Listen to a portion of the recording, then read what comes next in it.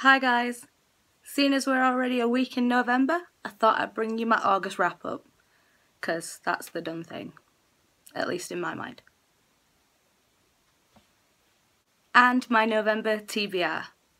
These are in no particular read order, it's just what I'm grabbing from how I've stacked it. So, here goes! In October, I picked up this book, I'll Give You the Sun. Me and Brandee decided to buddy read this I'll leave her channel link in the thingy. She's awesome. Go check her out. She's also doing NaNoWriMo this month, so if you're participating or anything like that, go jump over to her channel and give her a heads up. I'm so glad that I did buddy read this with Brandee because this book is just all about the feels. And the imagery that's actually put into this book is just insane. I mean, the phrases that a 13 year old boy uses to describe something is just mind blowing. And I was just really happy that I got to discuss that with someone as we were reading it, and it was just, it just made the experience of this book for me a whole heap better. And I love this book. I gave it 5 out of 5 stars. It is absolutely amazing and well deserved, all the hype that surrounds it and I just need to pick up more by Jandy Nelson because if she writes other things as good as she wrote this one, I'm, I'm in, all in. I finally read Second Chance Summer by Morgan Matson. This one was a tough one for me because out of all the other Morgan Matson's books, this one deals with kind of a darker topic. It just took a little longer to read knowing that it wasn't going to have such a happy ending as all her other books have had. But it was still a really great book and I still loved it and I gave it a 4 out of 5 stars. Then on to The First 15 Lives of Harry August by North. It's got such a buttery cover. That's not the point. Yeah. Once I actually put everything aside, reading wise and just other social, YouTube, you know, life things, and just picked this book up and just read it all the way through. It made it so much better, in my mind anyway, because obviously in this book it does leap from time to time to time. If you've watched my re September reading fails, you'll understand more about what this book is. I'll link that down below. I did really enjoy this book, so it ended up getting a 4 out of 5 stars. Then I got round to this one, Jake Finds Out, number two in the Making Out series by Katherine Applegate. Because this is book two, I'm not going to give you the ins and outs because, you know, spoilers. I honestly don't think that anybody else really cares about what this series is about, but I'm still going to reread it. This one got a 4 out of 5. Then on to the Ellen Hopkins portion of this month. I read Smoke, and I don't know if it's just my copies, but uh, does anyone else's Ellen Hopkins do this? Because if it does, I feel your pain. So I'll hold it from this corner. Ah, foiled. This was the follow-up to Burned. Again, this book took slow going for me. Not because the writing was bad or I wasn't enjoying the story. It's just the, the characters in it and I just couldn't believe how some of those characters were acting and it was just so frustrating that I kind of had to put the book down and just walk away for a little bit, like go away, have a cuppa, just chillax and then go, yeah, it's okay, it's fiction. And then my mind would go on the tangent of like, yeah, but the there are people that uh, really like that out there. And then I was just like, yes, but it's a book, chill. Yeah, my inner monologue's fun. So I did like this book and I did enjoy the dual perspective by bringing Jackie's aspects into it.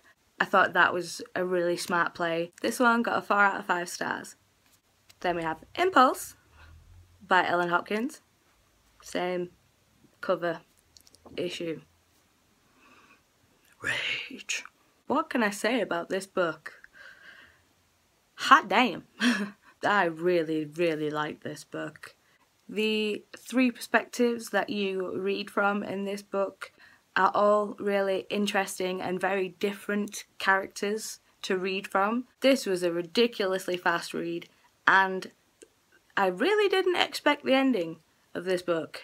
It was a complete surprise. It's not often that I get shocked by things in books. I kind of have the crappy foresight thing of knowing where things are going and yeah, I can't help it, my brain just automatically works it out ahead of time. It's a stupid brain. But this book is great. Go read it. Five out of five stars. Sorry if my arm keep my arms keep getting higher and higher. It's because I'm having to stack the books on the arms of my chair because I'm a genius. You know, that's not gonna work. but yeah, do this and look natural. Following up with my library books of this month, well, for the past three months to be fair, I got round to uh, A Monster Calls by Patrick Ness, the illustrated version. As I've just said with Impulse, my brain tends to automatically work everything out. With this one, it's not exactly difficult to see where it's going and what is actually happening because, you know, you pretty much understand it within the first couple of pages, I guess. But this book just kind of lacks for me. It was like, eh.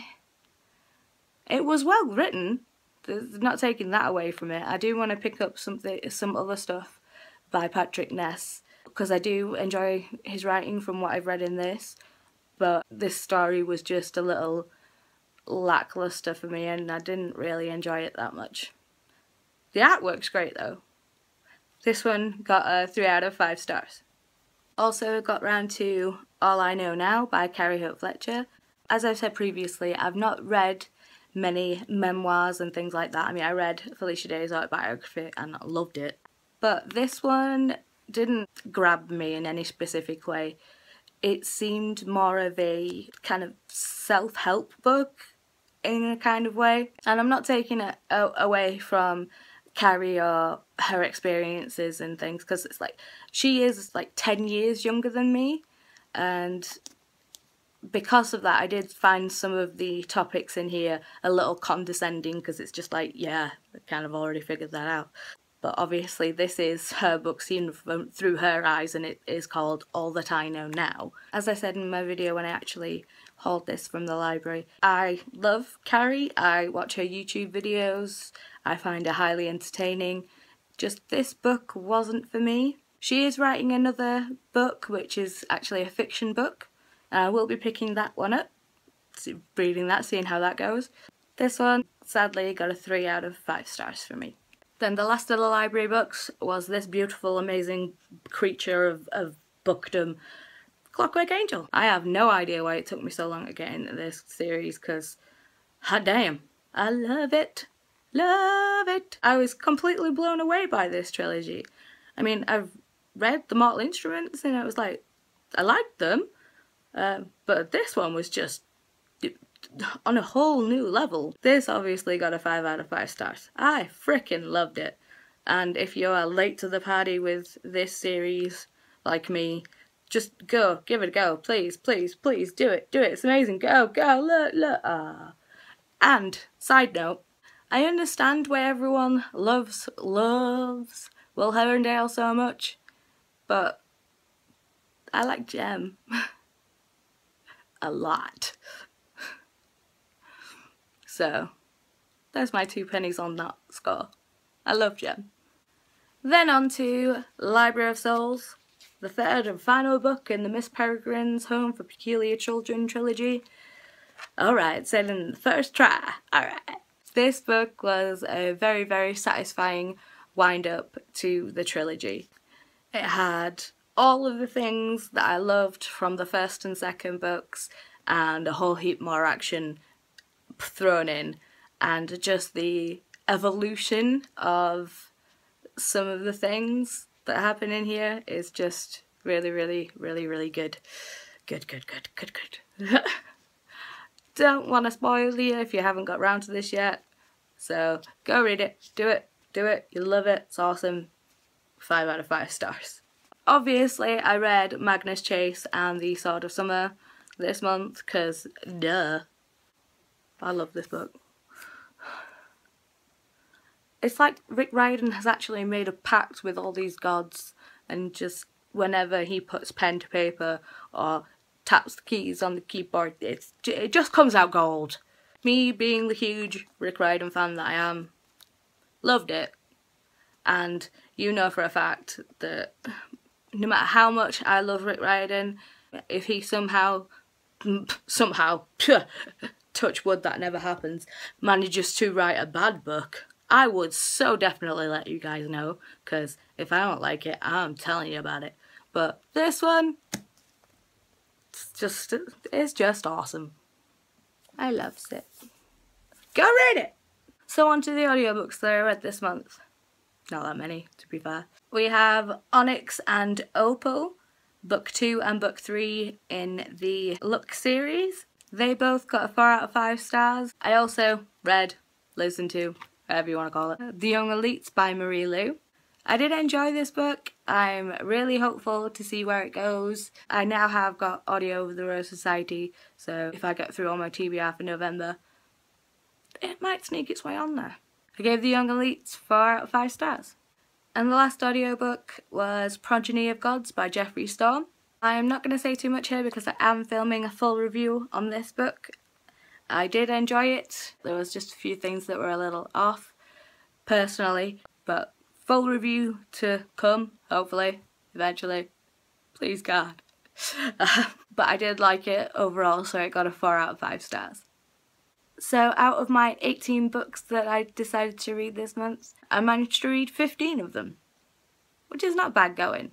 The ones that I didn't get round to were The Strange and Beautiful Sorrows of Ava Lavender. I started it and then just got sidetracked with other books, so it just got put to the side, which is a bit rubbish, I know, but it happens.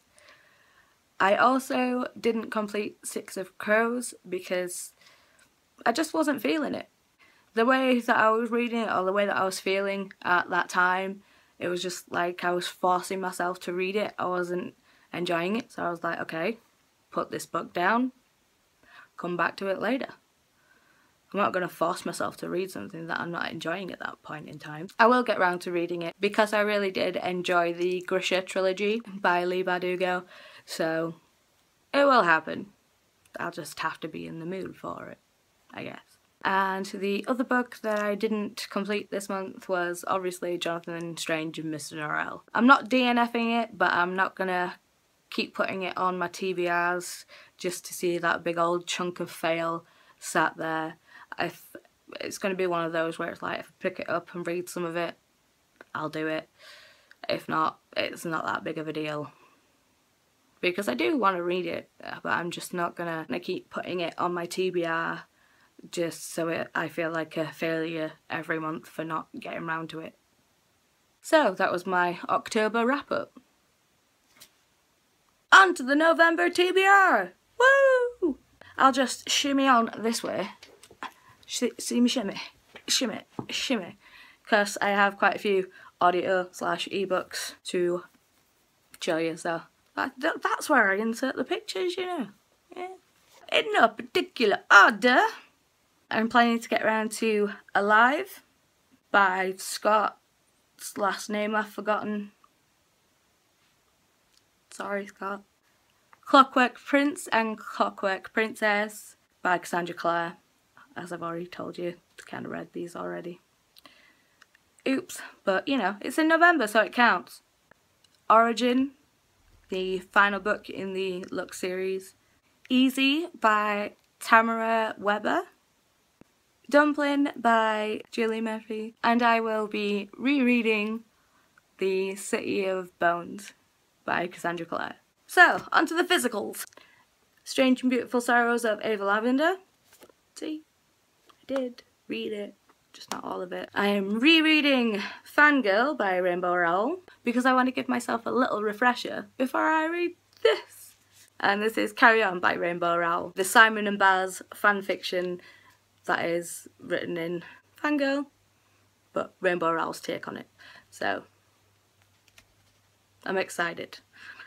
Lastly, the book that I've chosen so far is Illuminae by Amie Kaufman and Jay Kristoff. because this is the Booksplosion Book of the Month because I've had really good luck with those so far. but yeah, this book is written a whole heap of weird like but I'm excited to get into it. Um, you can't see it right now, but uh, up there I have S by J.J. Abrams and the other person I'll annotate here. And that book just seems so interesting, but I've not got round to reading it yet because I know you've got to read it at least twice. Kind of like once through as the book and then kind of like with their annotations that are in the sides and all the side bits and clues that they leave for each other in the book but it kind of feels like that to me in a way. If you haven't heard about S, go Goodreads it or at least Google it because it, it just sounds cool as hell. And I will let you know what I think about this one in my November wrap up. Hopefully. But I still have to pick a UBC book, so here goes. Which one, which one? Please be kind of a short one. What's it gonna be? What's it gonna be? Oh, okay. Dorothy Must Die by Danielle Paige. This is hopefully a book I'll get round to reading this month because I've had such a good time with, with the UBC books so far since I've started it. I think I've read each UBC book the month after and then still pulled a new one so we'll see how we go. that is it for today's video. Thank you for sticking around. If I don't manage to edit like a boss. Let's be fair, probably won't. Um, if you like this video, give it that all important thumb. Comment down below, tell me what you think about the books that I've chosen, or if you're wanting any more information on how I feel about any of these books. If you feel like hitting that subscribe button, feel free. Because it is. As always, the shirt I'm wearing today is this one.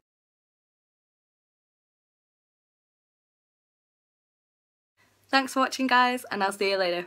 Bye! Blah. ah, too many books. No, not enough shells, that's my problem. Duh. Red smoke. Stupid cover. My arm's tired. oh, do I want to be sick and twisted? I just want to say it crept up on me.